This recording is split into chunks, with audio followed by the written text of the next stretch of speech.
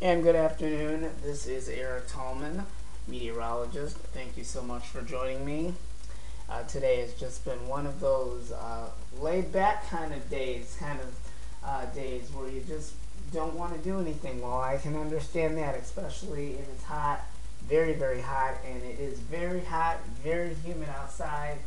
And if you're going to be out there doing outdoor activities, make sure that you take frequent breaks because I believe you're going to need them, um, especially uh, with all this hot and humid uh, conditions that we're experiencing today. Now, yesterday we had a heat advisory that wasn't in effect for southeast Michigan. That has been canceled.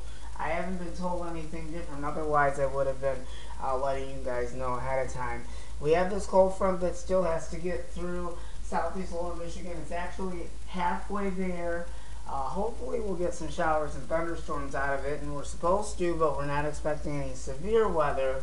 Um, if, if that was the case, we would have had uh, watch up in southeast lower Michigan, but at all, the severe weather is going to stay way to the south of us. We're not expected to have any severe weather, so that's actually a good thing.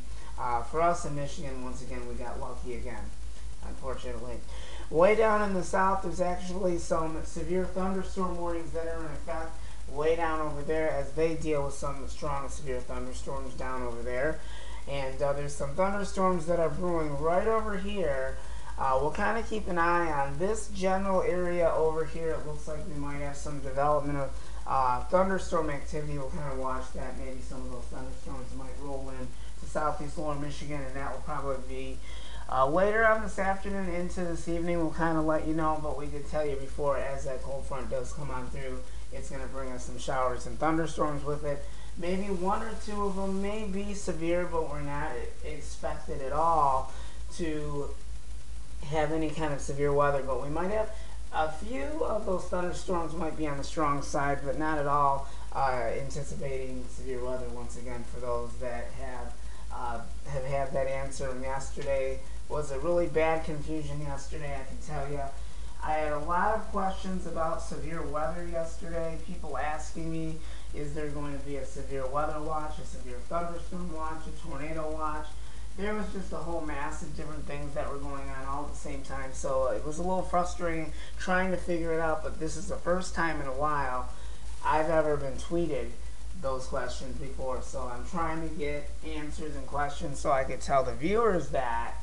Mm-hmm so it did get a little confusing. So you can see that uh, all the precipitation is actually scattered out, but we don't have nothing going on in southeast lower Michigan. Just very, very hot, humid conditions and very, uh, very cloudy outside and very, very sunny and warm outside.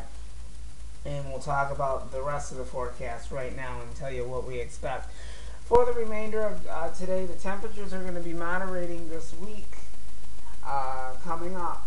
So for Sunday, today we go all the way up to 90. There is a heat index. We'll go over all the current conditions and the rest of the seven-day forecast. We're going to redo everything and put everything in action here. So today the high of 90, Monday 86 degrees, and Tuesday 82 degrees will be the high for the next three days. And then we'll talk about that seven-day forecast coming up in just a few minutes. Um, but those drink a lot of water, water, water, water, water. Don't be drinking alcoholic drinks today. Don't even be drinking any sport drinks because uh, I don't think that's going to help dehydration. Uh, but if you do start to feel uh, dehydration, that type of thing, um, think of something fast. Get water.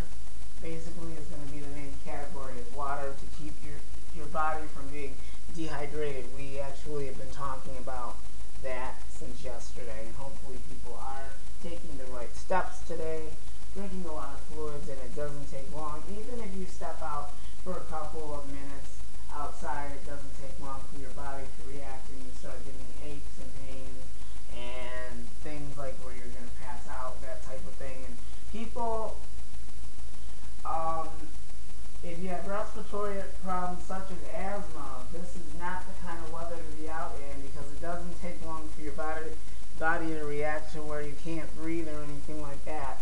And when you can't breathe, that immediately stops you. So uh, today, basically, you know, stay under the um, AC, check on your loved ones, family, um, elderly, that type of thing. Make sure that everybody is okay. So for the remainder of the rest of the day, all I can say is please use precautions today if you're going to be out outdoors or if you're going to be out. Don't leave um, your your animals out in the heat. Don't um, you know? Don't let your kids play outside for very very long periods of time. I I wouldn't even adventure outside or play outside, not even at the playground with it being so hot as it is today. So you might want to do that another day. Take them out on an outing and take them where there's air conditioning.